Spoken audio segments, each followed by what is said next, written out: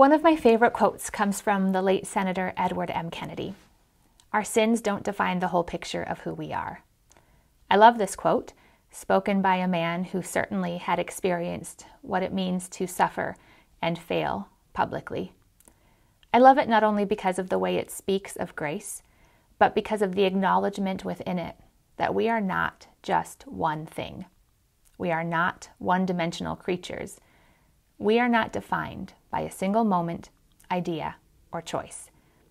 To rephrase Senator Kennedy, no one thing fully defines who we are.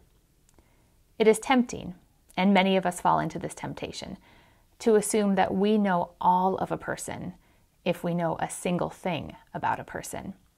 There's some kind of myopic cultural conversation that purports if you are one thing, no matter what that thing is, then that is all you are.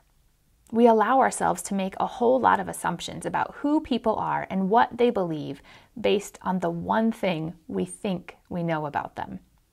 But we are not one dimensional, and we are not fully defined by who we vote for, or what we do, or what we say, even on social media. We are always more than that. We are a weaving of experiences and family and relationship, of faith and hope and frustration and dreams. There is so much more to every single one of us than just one thing.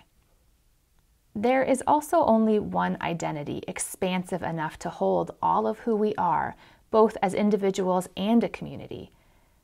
And it is our identity in Christ, that we are baptized followers of Jesus Christ. This, our true identity is the one that also defines us. It's tempting to lump people together, to categorize them based on other things that we think we know about who they are.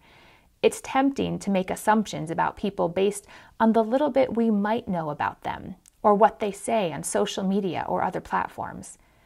And when that temptation comes, I'm encouraging us to choose instead to see with lighted eyes, to step back and remember not only is our identity in our baptism, but so is the identity of those around us.